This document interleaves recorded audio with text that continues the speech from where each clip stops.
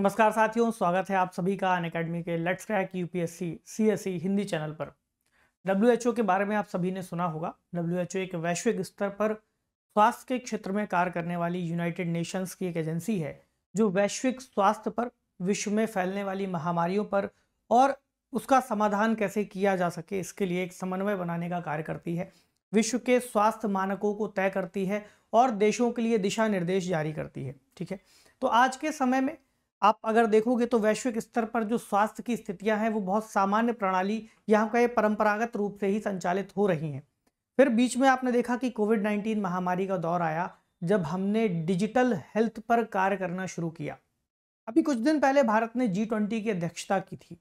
G twenty की अध्यक्षता के दौरान तीन प्रमुख जो प्राथमिकताएँ तय की गई थी, उनमें से एक था डिजिटल हेल्थ पर कार्य करना। अब उन्हीं प्राथमिकताओं के अनुरूप जो बातें तय हुई थी, उस पर डब्ल्यूएचओ एक डिजिटल हेल्थ के लिए इंफ्रास्ट्रक्चर लेकर के आया है, एक प्लेटफॉर्म बनाने का प्रयास कर रहा है। क्योंकि डब्ल्यूएचओ का कार्य वैश्विक स्तर पर समन्वय करने का भी है और जानकारी और ज्ञान को साझा करने का भी है। ऐसे में जब बात आएगी डिजिटल अवसंरचना को बनाने की, वो भी वैश्विक स्तर पर, वहाँ पर भी WHO की भूमिका बहुत महत्वपूर्ण हो जाती है। लेकिन उसकी जो आवाज़ है, या फिर उसके लिए अगर आप एक प्रारूप के रूप में देखोगे तो भारत का जो आयुष्मान भारत अभियान है, या फिर आयुष्मान भारत जो परियोजना है वो एक बेंचमार्क के रूप में कार्य कर सकती है। अब इतनी सारी बातों को जरा विस्तार से समझते हैं, इन डिटेल जानते हैं, क्योंकि हो सकता है इन बातों को समझने में थोड़ी सी कठिनाई आ रही हो। देखिए टॉपिक है डिजिटल हेल्थ पर क्या है? डब्ल्यू की वैश्विक पहल, उसको कह रहे हैं G I D H G I D H का मतलब है global initiative on digital health ठीक है? विस्तार से समझेंगे। आपको एक बात ये भी पता है कि अगर हम किसी राज्य के स्तर पर जाकर जिलावार स्वास्थ्य सुविधाओं का आकलन करें तो हमें दिखेगा कि सरकारी अस्पताल कितने हैं या फिर निजी अस्पताल कितने हैं। वहाँ पर कितने डॉक्टरों की सुविधाएँ हैं, कितने कर्मचारी कार्य कर रहे हैं, कितने बेडों की उपलब्धता है, कितने उपकरण हैं, ये सभी चीज़ें हम वहाँ पर जाकर कैलकुलेट करेंगे। लेकिन अगर आपसे ये कहा जाए कि आप वैश्विक स्तर पर एक ढांचा बनाइए जो डिजिटल लेवल पर चीज़ों को संचालित करे तो इसका समाधान करने के लिए फिर आप एक एक बेड को कैलकुलेट नहीं करोगे। फिर आप क्या देखोगे? बड़े लेवल पर, यानी मैक्रो लेवल पर सुविधाएँ किस तरह से दी जा रही हैं। वही इसके अंतर्गत भी आपको दिखाई देगा। विस्तार से समझेंगे, न्यूज़ है W H O launch digital health platform agreed upon in India's G twenty presidency इस पर सहमति हुई थी जब भारत जी ट्वेंटी की अध्यक्षता कर रहा था दिसंबर में। चलिए तो आगे बढ़ने से पहले कुछ ज़रूरी जानकारी अन अकेडमी के कोर्सेज को लेकर। अगर आप कोर्सेज को अवेल करना चाहते हैं तो अभी आपको स्पेशल ऑफ़र के तहत 50 परसेंट तक का डिस्काउंट मिल सकता है और छः महीने तक का एक्सटेंशन भी मिल सकता है। अगर आप अपनी तैयारी को इंग्लिश हिंदी या इंग्लिश माध्यम में करना चाहते हैं तो बहुत सारे बैचेस लाइव हो रहे हैं। जैसे कि 28 फरवरी से एक इंग्लिश का बैच शुरू होने वाला है। इसके अलावा एक बैच 22 फरवरी से शुरू हो रहा है और एक और बैच 16 फरवरी से शुरू हो चुका है।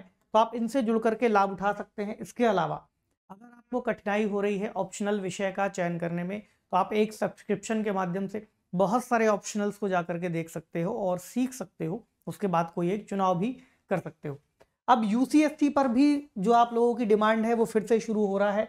25 फरवरी को यू टेस्ट कराया जाएगा सुबह 11 बजे और शाम को 5 बजे, यानी दो चरणों में। तो प्रारंभिक परीक्षा या प्रिलिम्स की तैयारी चूँकि बहुत ज़रूरी है और प्रैक्टिस सेट करना ज़रूरी है, उसके लिए भी इससे ज़रूर जुड़िएगा। अब आते हैं टॉपिक पर। तो वर्ष 2023 में आपको पता है, भारत ने जी ट्वेंटी की अध्यक्षता की थी, ठीक है? अब डिजिटल स्वास्थ्य पर वैश्विक पहल G I D H WHO शुरू करने जा रहा है।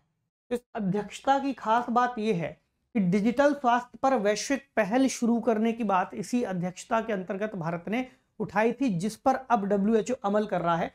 तो वर्चुअल फॉर्मेट में इसको लॉन्च किया गया है। तो जब अध्यक्षता की गई थी, तब उसके अंतर्गत तीन प्राथमिकता वाले क्षेत्रों की पहचान हुई थी, जिसमें से एक ये था डिजिटल हेल्थ। तो देशों को उनकी जरूरतों के आधार पर उन्हें ओवरलैप से बचाना संसाधनों का समन्वय करना और गुणवत्ता सुनिश्चित करके उत्पादों को उपलब्ध कराना इसकी एक प्रमुख उद्देश्य में शामिल होगा। एक बार जरा सोचिएगा कि डिजिटल हेल्थ जब शब्द आएगा तो इसमें क्या क्या चीज़ें शामिल कर सकते हैं? अभी आगे हम उसकी परिभाषा समझेंगे। लेकिन अभी आपको ये देखना है कि ग्लोबल लेवल पर जैसे ही कोई महामारी आती, जैसे अभी कोविड नाइन्टीन आया था तो अलग अलग देशों ने अलग अलग तरह से प्रयासों को शुरू किया। कई देश थे जो वैक्सीन बनाने में लग गए, कई देश थे जो लोगों का इलाज करने में लग गए, है ना? कई देशों ने टेस्टिंग के लिए प्रक्रिया को आपस में जोड़ा। लेकिन इसके बीच में कहीं समन्वय बहुत अच्छे तरह से होता हुआ नहीं दिख रहा था, क्योंकि देशों ने कभी ऐसी तैयारी की नहीं थी। डिजिटल लेवल पर लोग एक दूसरे से नहीं जुड़े थे। अब क्यों ज़रूरी था डिजिटल जुड़ना? क्योंकि आपको पता है, कोविड महामारी के दौर में लोगों का एक स्थान से दूसरे स्थान पर जाना या किसी दूसरे से मेल जुल मेल जोल बढ़ाना खतरे का एक सूचक था। ऐसे में यह तय किया गया कि सब लोग अपने अपने घरों में रहेंगे। जब घरों में रहेंगे तो बातचीत कैसे हो? इसके लिए आवश्यक था कि विश्व एक डिजिटल हेल्थ की प्रक्रिया से जुड़े। अब इसमें क्या क्या कहा गया है? नई पहल कहती है कि डिजिटल स्वास्थ्य वर्ष 2020-2025 के आधार पर वैश्विक रणनीति बनाई जाए। एक स्ट्रेटजी तय करें जो विश्व के सभी देशों को जोड़े। दूसरा, इसमें डब्ल्यू मैनेज करेगा एक नेटवर्क को और एक प्लेटफॉर्म के रूप में इसको बनाएगा। ठीक?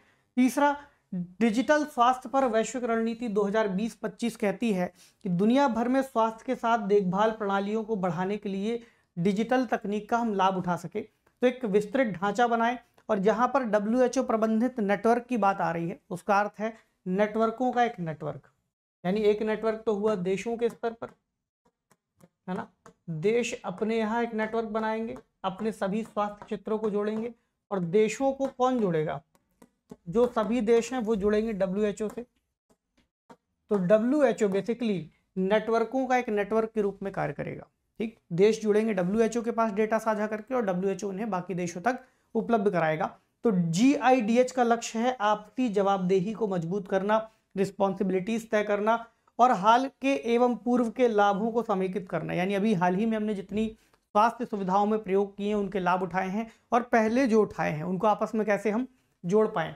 एक और मकसद आपको दिखाई देगा, डिजिटल स्वास्थ्य परिवर्तन के लिए स्पष्ट प्राथमिक रूप से संचालित निवेश योजनाएँ। इन्वेस्टमेंट कहाँ हो रहा है, किस तरह से हो रहा है और किस क्षेत्र में ज़्यादा निवेश करने की आवश्यकता है। अब यहाँ पर इसको अगर आप थोड़ा सा विस्तार से समझें तो मान लीजिए एक देश है, यूएसए, एक देश है मैक्सिको, है ना? यहाँ पर है भारत, एक और कोई देश ले लीजिए, चीन। ये सभी देश अलग अलग तरह से अपने अपने स्तर पर रिसर्च कर रहे हैं इन्वेस्टमेंट कर रहे हैं, निवेश कर रहे हैं।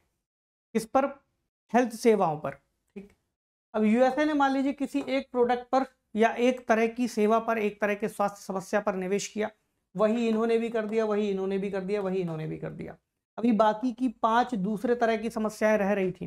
तो अगर ये पता लग जाए कि कौन कौन से देश किन प्राथमिकताओं पर कार्य कर रहे हैं तो सभी देशों का खर्च भी बचेगा निवेश भी होगा और हो सकता है एक बीमारी पर यह काम करे, एक बीमारी पर यह काम करे, एक पर ये काम करे। इससे पाँच बीमारियाँ एक साथ, पाँच अलग अलग तरह की समस्याओं को हम एड्रेस कर पाएँगे और विश्व का बहुत बड़ा खर्च भी बचेगा, ठीक है? इसके अलावा डिजिटल स्वास्थ्य संसाधनों की रिपोर्टिंग करना होगा। भाई, जब आप बताएँगे तभी तो पता चलेगा कि कहाँ पर निवेश हो रहा है, कहाँ पर स्वास्थ्य सुविधाएँ बेहतर हो रही हैं। पारदर्शिता में सुधार करना देश छुपाते हैं एक दूसरे से जानकारियों को। प्रगति में तेज़ी लाने के लिए क्षेत्रों के साथ साथ देशों में ज्ञान के आदान प्रदान एवं सहयोग को सुविधाजनक बनाना, देशों में डिजिटल स्वास्थ्य प्रशासन के लिए संपूर्ण सरकारी दृष्टिकोण का समर्थन करना। यानी केवल डब्ल्यू ही डिजिटल नहीं होना चाहता, जो भी देश हैं, जब तक वो अपने यहाँ पर डिजिटल हेल्थ इंफ्रास्ट्रक्चर नहीं बनाएँगे, उन सुविधाओं को डिजिटलीकृत नहीं करेंगे, जानकारियों का डिजिटल प्रमाणन नहीं करेंगे, रिकॉर्ड उपलब्ध नहीं कराएँगे तो कैसे वो अन्य देशों तक पहुंचेगा? तो डिजिटल स्वास्थ्य 2020-25 पर वैश्विक रणनीति के कार्यान्वयन और इसके अगले चरण के लिए तकनीकी तथा वित्तीय सहायता को भी बढ़ाने की बात कही गई है। अब थोड़ा सा देखें इसके घटक कौन कौन से इसमें चार प्रमुख बातें आपको दिखाई देंगी। देखिए, ऐसे टॉपिक आपको कठिन ज़रूर लगते हैं, लेकिन अगर प्रश्न बहुत स्पेसिफिक रूप से मेंस में जीएस पेपर वन में जीएस पेपर टू में या जीएस पेपर थ्री में पूछ लिया जाता है, उत्तर तभी कर पाएँगे जब आपने इसको इन डिटेल पढ़ा होगा। चार बातें हैं। पहला है कंट्री नीड्स ट्रैकर यानी देशों को अपने यहाँ पर स्वास्थ्य रणनीतियों को ट्रैक करने की आवश्यकता है और ट्रैकर भी लगाने होंगे। दूसरा कहता है कंट्री रिसोर्स पोर्टल यानी प्रत्येक देश में उपलब्ध जो डिजिटल स्वास्थ्य संसाधन है है ना, उनका एक मैप बना करके रखिए। तीसरा कहता है ट्रांसफॉर्मेशन टूल बॉक्स तो डिजिटल हेल्थ में चेंजेस अगर हमें करने हैं इकोनॉमी को, अपने हेल्थ सिस्टम को तो उसके लिए बहुत सारे उपकरण चाहिए होंगे, बहुत सारे एप्लीकेशन चाहिए होंगे, जिन्हें हम टूल्स कह रहे हैं। उनकी आवश्यकता पड़ेगी। अगला है नॉलेज एक्सचेंज वही जो मैंने आपको बताया कि भाग लेने वाले जो भी देश हैं, उनके अंतर्गत ज्ञान को अर्थात नॉलेज को अर्थात रिसर्च को एक दूसरे के साथ साझा भी किया जा सके। तो ये चार प्रमुख बातें इस हेल्थ इनिशिएटिव के अंतर्गत आपको देखने को मिलेंगी। अब बात करते हैं भारत की क्या भूमिका है। तो भारत की एक भूमिका आपको जी ट्वेंटी के तहत दिखाई दे रही है कि जी ट्वेंटी की अध्यक्षता के दौरान इस पर चर्चा हुई थी। इसके अलावा एक दूसरी भूमिका है, जैसा मैंने आपसे कहा कि एक एग्ज़ाम्पल सेट करता है भारत की आयुष्मान भारत योजना। तो आयुष्मान भारत डिजिटल मिशन एक बहुत बड़ी परियोजना है, जो भारत के अंतर्गत एक बहुत बड़ी आबादी को आपस में जोड़ती है। तो विश्व के लिए एक मॉडल हो सकता है, एक उदाहरण हो सकता है। भाई, वहाँ पर लाखों की आबादी है, करोड़ों की आबादी है। यहाँ पर आप देखोगे तो अरबों में आपको आबादी दिखाई देती है, लगभग 140 करोड़ के आसपास। मान लेते हैं कि उसमें से आयुष्मान भारत में 50 करोड़ लोग भी जुड़ गए, फिर भी वो संख्या बहुत बड़ी होगी। तो एक निर्बाध इलेक्ट्रॉनिक स्वास्थ्य रिकॉर्ड प्रणाली तैयार करने की दिशा में भारत ने जो काम किया है, उससे बाकी के देश सीख सकते हैं। चलिए, अब डिजिटल हेल्थ केयर के अंतर्गत क्या क्या चीज़ों को रखा जा सकता है? अगर आपसे प्रश्न में ये पूछे कि डिजिटल हेल्थ केयर क्या होता है, इसकी परिभाषा बताइए, इसके घटक बताइए, फिर वैश्विक स्थितियों पर चर्चा कीजिए तो आपको बताना है कि डिजिटल हेल्थ केयर बेसिकली चिकित्सा देखभाल वितरण की एक प्रणाली है। अब अगर हेल्थ केयर की बात करें तो आप सोचोगे डॉक्टर इंफ्रास्ट्रक्चर बेड है ना? ये सभी तो है ही।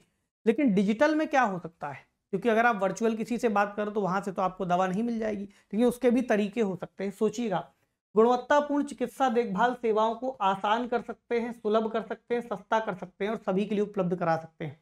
इसमें कुछ चीज़ें हैं, जैसे कि मोबाइल हेल्थ मोबाइल हेल्थ का मतलब कुछ ऐसे उपकरण बनाए जाएँ जो आसानी से एक जगह से दूसरे जगह पर ले जाए जा सकें। जैसे कि आपने देखा था, अयोध्या में चल रहा था भीष्म करके, है ना? तो वो एक तरह के मोबाइल हॉस्पिटल थे जो कुछ खास समय के लिए, खास जरूरतों को पूरा कर सकते थे।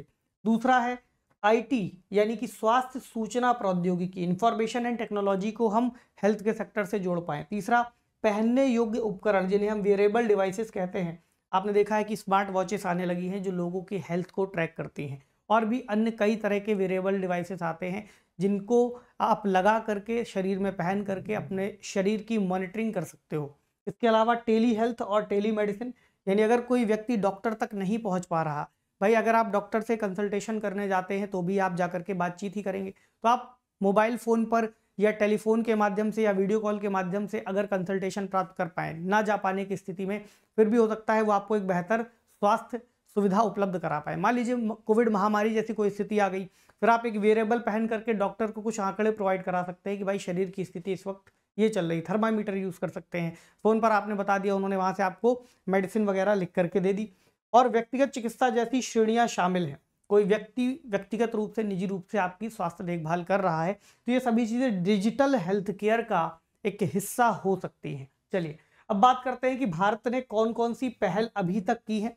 तो सबसे बड़ा मिशन यही है, आयुष्मान भारत डिजिटल मिशन दूसरा है ई संजीवनी टेली कंसल्टेशन सेवा, जहाँ पर आप फ़ोन के माध्यम से दवाओं की जानकारी को ले सकते हो। अगला है आयुष्मान भारत प्रधानमंत्री जन आरोग्य योजना, ठीक है, जिसमें आपको एक लिमिट तक का स्वास्थ्य लाभ मिलता है, आप जाकर के इलाज करा सकते हो। और कोविन ऐप के बारे में तो आपने देखा ही था, जब कोविड के दौर में क्या था, अगर आपको ट्रैक करना हो कि कहाँ पर टीका लग रहा है, ठीक तो ट्रैकर भी था। आपको लोकेशन भी देता था कि कहाँ पर इस वक्त टीका आपका लगाया जा सकता है। दूसरा, उसका जो टीकाकरण हुआ, उसका रिकॉर्ड भी रिकॉर्ड भी रखता है और साथ ही प्रमाणन भी देता है। तो आपको एक प्रमाण पत्र भी दिया जा रहा था कि आपने कोविड नाइन्टीन का टीका लगवाया हुआ है। तो ये अपने आप में बहुत इंपॉर्टेंट सुविधाएँ हैं, जो भारत ने बहुत बड़ी आबादी को ट्रैक करने के बावजूद, एक बड़ी आबादी को रखने के बावजूद बहुत ही सरलतापूर्वक इसको सफलतापूर्वक लागू किया है। इससे ही विश्व को सीखने की बात की जा रही है। अब जरा सवाल देखेंगे। विश्व स्वास्थ्य संगठन द्वारा हाल ही में जारी की गई डिजिटल स्वास्थ्य पर वैश्विक पहल क्या है? भारत की भूमिका पर चर्चा करते हुए इसके वैश्विक निहितार्थ बताइए। तो अपने आप में अगर आप इस तरह का कोई प्रश्न देखते हो तो अगर आपने इस टॉपिक के बारे में डिटेल नहीं पढ़ा है तो आपके लिए आंसर करना थोड़ा सा कठिन होता है। इसलिए कहते हैं कि ऐसे टॉपिक को ज़रूर से पढ़ते रहा करिए, ताकि ऐसा कोई भी सवाल आपसे परीक्षा में छूटे नहीं, क्योंकि प्रश्न छूटने का मतलब होता है कि आपका बाकी जो स्टूडेंट्स हैं उनसे पीछे चले जाना। बाकी एस्पेरेंट्स अगर आपसे आगे होंगे तो फिर आपको अपने आप में एक अच्छा स्कोर करने में और एक फाइनल लिस्ट में आने में दिक्कत होगी। ध्यान रखिएगा, इस प्रश्न का उत्तर लिखने की कोशिश कीजिए 250 शब्दों में, या अगर नहीं हो पा रहा तो 150 शब्दों में लिखने का प्रयास कीजिए, ठीक है? अगर कोई भी समस्या आपको लगती है, आप मुझे कमेंट सेक्शन में लिख सकते हैं। आपसे मिलते हैं अगले सेशन में किसी अन्य महत्वपूर्ण टॉपिक के साथ। पढ़ते रहिए, अपना ख्याल रखिए। शुक्रिया।